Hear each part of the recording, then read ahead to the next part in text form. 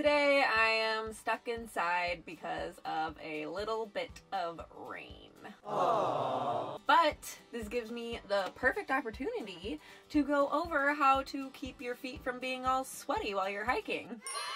Your number one concern for hot weather hiking boots should be preventing sweat because sweat causes wet feet, obviously, which can actually cause blisters and a massive amount of uncomfortableness while you're hiking. So all of these features that I'm to go over basically prevent your feet from sweating. The first set of features that you're want to look for in hot weather hiking boots is some kind of mesh or holes that create breathability. And breathability basically just helps your feet release heat so that they don't sweat as much as they usually would. Another feature that you'll want to look for in hot weather hiking boots is some kind of water resistance and moisture wicking in the sole. Your feet are going to sweat no matter how breathable the shoe is.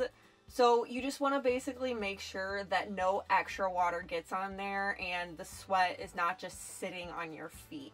Moisture wicking soles kind of soak up any sweat that comes from your feet so it's not just sitting there. A lot of hiking boots already come with some sort of water resistance such as Gore-Tex or any other type of coating that goes on the outside of the shoe, but you want to be careful with that because you want to make sure it's not completely waterproof. Any waterproofing done to the shoe usually takes away a lot of breathability and is just overall not a fun hot weather hiking shoe. The last thing and probably the most basic thing is comfort. Wow. No matter the weather you're in, you're not gonna have a good time unless your shoe has the proper cushioning, it fits properly, and it doesn't feel like a ton of bricks on your feet. All of these things can actually minimize sweat because you don't have to work as hard to walk with a properly fitted shoe that has the right support and cushioning. If you like this video, don't forget to subscribe because we'll be releasing more awesome content on the great outdoors.